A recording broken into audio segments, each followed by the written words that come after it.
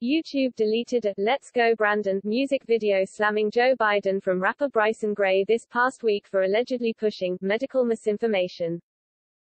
What medical misinformation is in the song? Whoa, Bryson Bryson tweeted on Thursday. The song lyrics that YouTube took most issue with suggested that the coronavirus pandemic may have been planned, and that President Biden lied about the effectiveness of vaccines. Pandemic ain't real, they just planned it, Gray raps at one point. Biden said the jab stopped the spread, it was lies, he also raps. Gray said YouTube initially deleted the lyric version of the music video before the actual music video in which he wears a MAGA hat while holding an assault rifle. On Thursday, YouTube tech support told Gray the company would investigate the ban. Jumping in, we're passing this along to the right team for a re-review, YouTube told Gray. We'll share updates once we hear back from them. Appreciate your patience in the meantime. YouTube has not responded to Gray's inquiry as of this reporting. I want to thank YouTube for banning my Let's Go Brandon song.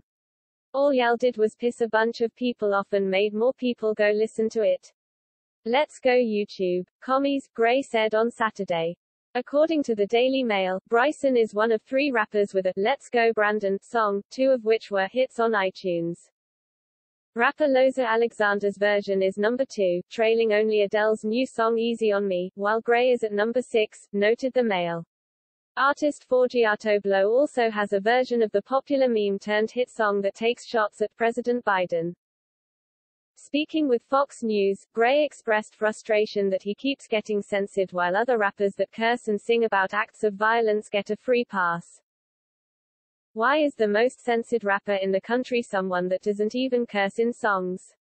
Gray asked, Why can you rap about murder, sex, and drugs but when I rap about questioning the government I get banned?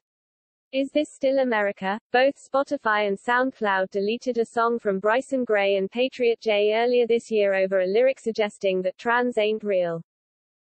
To date, nearly 412 million doses of the FDA-approved COVID vaccines have been administered in the United States, and over 189 million people in the U.S. have been fully vaccinated.